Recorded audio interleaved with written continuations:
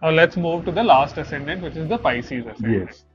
So from a, a career perspective, it is uh, you know sudden changes in career and those kind of things are indicated for a Pisces uh, ascendant.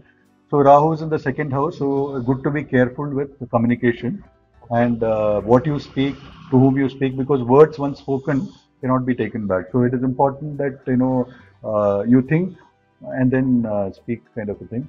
In terms of the kind of food that you eat and the kind of uh, drinks that you have, it's good to have a good, uh, reasonable care uh, from that perspective. Okay. From a um, uh, you know winning battles kind of a perspective, it's a good uh, transit.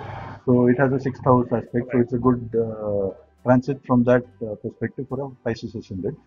Sleep may get disturbed, so it is good to have a good amount of uh, sleep And also that. have a routine in place. Yes, what you're saying. have a routine in place. So if you are uh, doing some yoga and uh, any kriya or those kind of things or a mantra chanting kind of thing, it's good to maintain that because that uh, high probability of that getting disrupted. Okay. So uh, it is good to maintain that, and then uh, you know you will probably you know move out to seek pleasures related to foreign uh, related uh, Okay. kind of a thing. So it is good to have a some sort of a system and uh, control over your uh, behavior and lifestyle kind of a thing. Okay. Second house also being the house of resources. Yes. Uh, resources from foreign lands Yes. that can help you or external resources. Yes. So resources uh, from uh, you know in terms of increasing your wealth and in terms of communication and those kind of things.